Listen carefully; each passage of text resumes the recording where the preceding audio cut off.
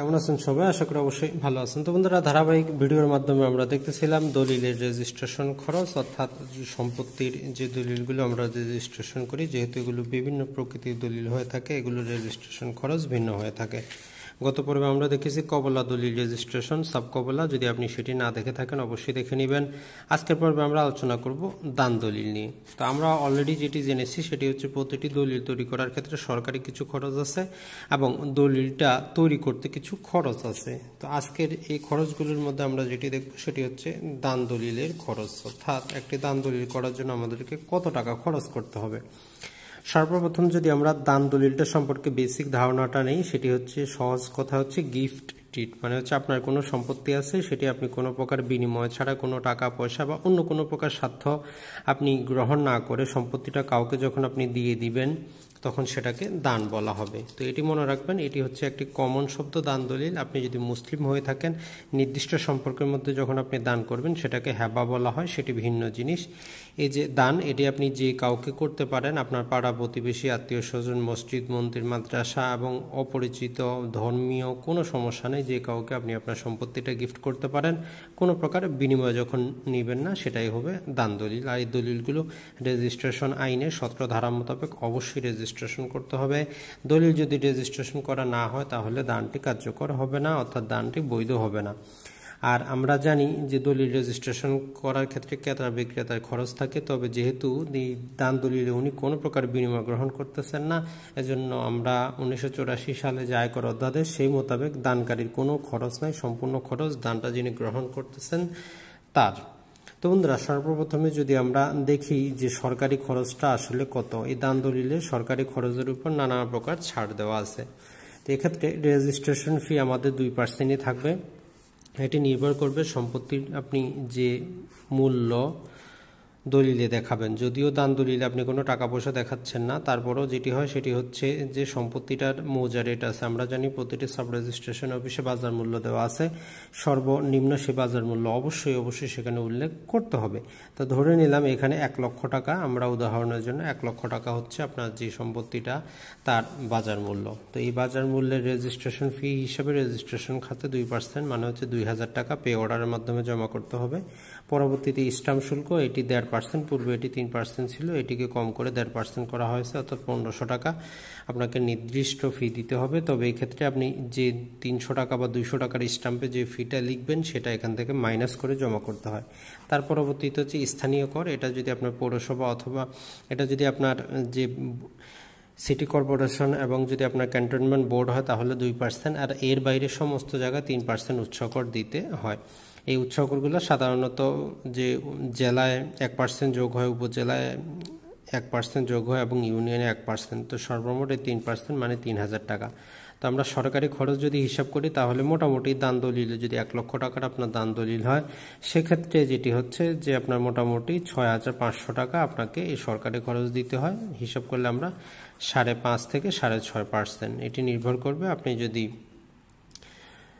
City corporation অথবা cantonment বোর্ডের আন্ডারে থাকেন, তাহলে সাড়ে পাঁচ পার্সেন্ট পাবেন, না হলে সাড়ে ছয় পার্সেন্ট দিয়ে আপনাকে এই দান দলিলটা রেজিস্ট্রেশন করতে হবে। তো বন্ধুরা, এটা ছাড়া আমরা যেটি বলি সেটি হচ্ছে প্রতিটি দলিলে দুইশো টাকার নন জুডিশিয়াল স্টাম্পে একটা হলফনামা দিতে হয়, যে সম্পত্তিটির মালিক আপনি ই ফি বলে একশো টাকা নেওয়া হয়, এন ফি বলে দলিলের প্রতি পাতা ষোলো টাকা করে নেওয়া হয়। দলিলটি যদি বাংলা হয়, আর দলিলটি যদি ইংরেজিতে হয়, প্রতি পাতা চব্বিশ টাকা নেওয়া হয়। সাধারণত এই যে দলিলগুলো আছে, এগুলোতে যদি একজন রাতা একজন গ্রহিতা যদি থাকেন, তো সেই দলিলটি আমরা যতটুকু দেখতে পাই, সেটি হচ্ছে যে হলফনামা সহ মোটামুটি দশ পাতার মধ্যে সম্পন্ন হয়ে যায়। তো প্রতি পাতা যদি ষোলো টাকা করে নেওয়া হয়, তার মানে একশো ষাট টাকা। এন এন ফি মানে হচ্ছে দলিলগুলো যে বালাম বইয়ে লেখার জন্য নকল নবিশদের খরচ হিসাবে দু হাজার আঠারো সাল থেকে এই এন এন ফিটা হিসাব করা হয় দলিলের প্রতি পাতা চব্বিশ টাকা করে। তো আমরা যেটি বললাম, সাধারণত একজন দ্রাতা এবং একজন গ্রহিতা থাকলে হলফনামা সহ দশ পাতা হয়ে থাকে। তো চব্বিশ আর দশ যদি গুণন করি দুইশো চল্লিশ টাকা।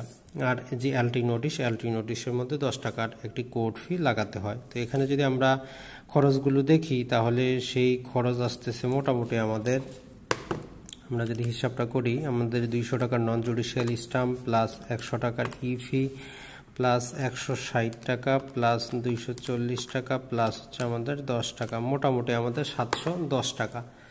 তো যাই হোক, আমাদের এই সাতশো দশ টাকা হচ্ছে এখানে খরচ। তো বন্ধুরা, এখন কথা হচ্ছে এটা ছাড়া এই যে খরচটা, এটা পে অর্ডারের মাধ্যমে দেওয়া হয়। এখানে কিছু খরচ পে অর্ডারের মাধ্যমে আসে, কিছুটা নন জুডিশিয়াল স্টেম কিছু নগদে সাব রেজিস্ট্রেশন অফিসে দিতে হয়। তো এখন যদি আমরা দলিল লেখকের খরচ দেখি, যেটি সবচেয়ে বেশি আমাদেরকে ব্যথিত করে, সেটি হচ্ছে সরকারি এখন পর্যন্ত যে হিসাব, সেই মোতাবেক পাঁচশো টাকার বেশিও দলিল লেখক পান না। মানে হচ্ছে আমরা যে দলিলের প্রতিপাতা বললাম, প্রতিপাতা দলিল মোসাবিদা করার জন্য মানে কোথায় কি হবে, সেগুলো করার জন্য পনেরো টাকা করে পাতা নিতে পারেন। স্মরণ শক্তি থেকে লেখার জন্য দশ টাকা করে নিতে পারেন। আর বর্তমানে যেহেতু দলিলগুলো টাইপিংয়ে হয়, অর্থাৎ কম্পিউটারে টাইপিং করা হয়, আর দান দলিলে তো নির্দিষ্ট ফর্মেটই আছে টাইপ করার কিছুই নেই। জাস্ট এই মোসাবিদা এবং টাইপিং দলিল লেখকরা নিজেরাই করে থাকেন। আর এলটি নোটিশ লেখার জন্য পাঁচ টাকা করে নেওয়ার বিধান আছে আর অন্যান্য দরখাস্তের জন্য দুই টাকা করে। তো এটা যদি আমরা হিসাব করি, সাধারণত পাঁচশো টাকার মধ্যেই হয়ে থাকে। কিন্তু বাস্তবতা হচ্ছে প্রতিটি দলিল লেখক যেটি করেন সেটি হচ্ছে মোটামুটি তিন হাজার থেকে পাঁচ হাজার টাকা কিন্তু ওনারা প্রতি দলিল প্রতি কিন্তু নিয়েই থাকেন। তবে একটি কথা মনে রাখবেন, দলিল লেখক যত টাকায় নেক, ওনাকে বলবেন যাতে একটি রসিদ দিয়ে দেয়। অথবা অন্য দলিল লেখক দিয়ে কাজটি করাবেন। তো আমরা যদি এখন হিসাব করি, আর এই দলিলটি যদি আমরা যেহেতু টাইপিং করতেছি, যে কোনো টাইপিং সেন্টারের দোকানে আপনি দিয়ে দিলে পাঁচশো টাকাও লাগবে না। এটি ম্যাক্সিমাম পাঁচশো টাকার মধ্যে আপনার দলিলটি সম্পূর্ণরূপে এরকম টাইপ অঙ্কিত হয়ে যাবে, ছবি সম্পূর্ণ কিছু ওনারা লাগিয়ে দিবেন, কোনো প্রকার সমস্যা ছাড়াই। তো বন্ধুরা, আমরা যদি এখন হিসাব খরচটা হিসাব করি, তো দেখুন সরকারি আমরা কোষাগারে জমা দিলাম পে অর্ডারের মাধ্যমে ছয় হাজার পাঁচশো টাকা। আর এই যে আমরা এই সাতশো দশ টাকা হচ্ছে, হলফনামা ই ফি অ্যান্ড ফি নানা প্রকার ফি আমাদের গেল। পাঁচশো টাকা দলিল লেখক খরচ হয়, আমরা লিগাল হিসাব খরচ করতেছি। যারা পাঁচ হাজার টাকা নিচ্ছে সেটা ভিন্ন কথা। আর দলিলটা টাইপিং করার জন্য আমরা পাঁচশো টাকা ধরলে মোটামুটি আমাদের যে টাকাটি আসে সেটি যদি একবার হিসাব করি ছ হাজার পাঁচশো প্লাস সাতশো দশ প্লাস এক হাজার। মানে মোটামুটি আমাদের আট হাজার দুইশত দশ টাকা।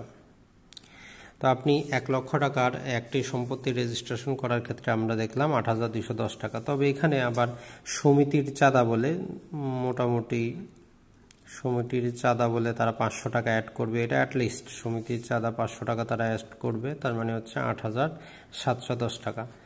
তো তারপরেও এই যে এক লক্ষ টাকা সম্পত্তি দান দলিল করতে গেলে আপনার আট হাজারে তো পারবেন না, সেটা যেটি সেটি হচ্ছে বারো থেকে চোদ্দ হাজার টাকাও নেবে, বাকি সম্পূর্ণ টাকা এই প্রতারক যারা দলিল লেখক আছেন তারা নিয়ে থাকেন। বিভিন্ন প্রকার সংস্থা থেকে যেটি হয় সেটি হচ্ছে তাদের এই সমস্ত টাকা পয়সা যদি কম হয়, তারা আন্দোলন সংগ্রাম করে এখানে বাড়িয়ে নিতে পারেন। পাতা পনেরো টাকার জায়গায় পঞ্চাশ টাকা করতে পারেন, একশো টাকা নিতে পারেন। কিন্তু যেহেতু তারা প্রতি দলিলে তিন থেকে পাঁচ হাজার টাকা মানুষকে জিম্মি করে নেন, তো সেজন্য যেটি হয় সেটি হচ্ছে যে তারা ওইগুলোর জন্য কোনো আন্দোলন সংগ্রামও করেন না, আর এই জন্য সরকার ওইগুলো বাড়াচ্ছে না। এখানে একটা এক রকমের আমরা বলব নীরব এখানে দুর্নীতি চলে যাচ্ছে। তো যেটি করতে পারেন আপনি, এখন যদি কোনো দলিল লেখক অস্বীকার করে তার যে লাইসেন্স নাম্বার আছে লাইসেন্স নাম্বার সহ সাব রেজিস্টারের কাছে আপনারা আবেদন করতে পারেন। তো মনে রাখবেন বন্ধুরা, এই যে দান দলিল আছে দান দলিলে আর যে খরচগুলো আছে, হচ্ছে উৎসকর আয়কর এগুলোর প্রযোজ্য না। যেহেতু আপনি সম্পত্তি থেকে কোনো প্রকার লাভ করতেছেন না। তো আশা করি এই যে গিফট ডিট বা দান দলিল আছে দান দলিল সম্পর্কে আপনারা বুঝতে পেরেছেন। তবে মনে রাখবেন বন্ধুরা, অনেকে যে প্রশ্নটি করেন যে, ভাই দান দলিল এই দলিল দিয়ে কি আমি কি করতে পারব কিনা, নাম জারি করতে পারব কিনা? তো বন্ধুরা, আপনি যেভাবে সাবকবলা দলিল দিয়ে যেভাবে নামজারি করতে পারতেন, সম্পত্তিটা আপনি দখলে রাখতে পারতেন সেই রকম করে পারবেন। অনেকেই আবার যেটি বলেন, সেটি হচ্ছে যে দান দলিল বাতিল করা যায় কিনা বা যিনি দান করলেন উনি বাতিল করতে পারেন কিনা। তো মনে রাখবেন, যদি সম্পত্তিটা আপনি প্রপারলি যদি আপনি রেজিস্ট্রেশন করেন, তাহলে এই দান দলিল সাধারণভাবে রহিতকরণ দলিলের মতো করে বাতিল করা যায় না। আর যে কোনো দলিল আদালতে বাতিল করতে গেলে আপনাকে কয়েকটি জিনিস প্রমাণ করতে হয়। এক নাম্বার হচ্ছে, যিনি এই দলিলটা করলেন, উনি কি ছিলেন? চুক্তি সম্পাদনে যুক্ত, যোগ্য কিনা? চুক্তি সম্পাদন। তো এখন চুক্তি সম্পাদন কি বুঝি আমরা? চুক্তি সম্পাদন বলতে বুঝায় তার বয়স অথবা তার বয়স অবশ্যই আঠারোর বেশি হবে। তিনি অবশ্যই সুস্থ, প্রাপ্ত, সুস্থ হবেন, পাগল হলে হবে না। তিনি অবশ্যই দেউলিয়া ঘোষিত হবেন না। দেউলিয়া ঘোষিত হবে না অথবা কোনো আইন দ্বারা কোনো আইন দ্বারা নিষেধ হবে না। অর্থাৎ আপনি এমন কোনো সম্পত্তি বা এমন কোনো দলিল করে নিলেন যেটা আইন দ্বারা নিষিদ্ধ, সেটি আপনি করলেও কিন্তু হবে না। তার মানে হচ্ছে এই জিনিসগুলো যদি থাকে, অর্থাৎ তার বয়স যদি আঠারো বেশি হয়, উনি যদি সুস্থ থাকেন, দেউলিয়া ঘোষিত না হন, আইন দ্বারা নিষিদ্ধ না হন, উনি যখন কোনো সম্পত্তি দান করে দিবেন, তখন সেই দানটি আর উনি নিজেও বাতিল করতে পারবে না। তবে এক্ষেত্রে আরও কিছু আমরা নানা প্রকার উচ্চ আদালতের ডিএলআর থেকে যে একটুটুকু জানতে পারি, সেটি হচ্ছে দানকৃত সম্পত্তি যদি আপনি আবার বিক্রি বা দান করে দেন অর্থাৎ আমরা যদি একটি এ বি এবং সি এ যেটি করল বিকে একটি সম্পত্তি দান করে দিল বি সেটি সির কাছে বিক্রি বা দান করে দিল। তখন এ যদি এটি আদালতে যদি কোনো কারণবশত মামলাও করে, তখন সি যেটি বলবে যে ভাই, আমার কাছে সম্পত্তি তো নাই, আমি সম্পত্তি হস্তান্তর করে দিয়েছি। তো তখন আর মামলা দায়ের করা যায় না। তো যাই হোক, তাহলে আপনারা বুঝতে পারলেন যে আপনি প্রপারলি যদি দলিলটা রেজিস্ট্রেশন করেন, তাহলে কোনো সমস্যা নাই। তো বন্ধুরা, তার পরবর্তীতে আমরা যেটি আলোচনা করব, সেটি হচ্ছে বিনিময় দলিল নিয়ে আমরা আলোচনা করব। আশা করি অবশ্যই ভিডিওটি দেখবেন, ধারাবাহিক ভিডিওগুলো।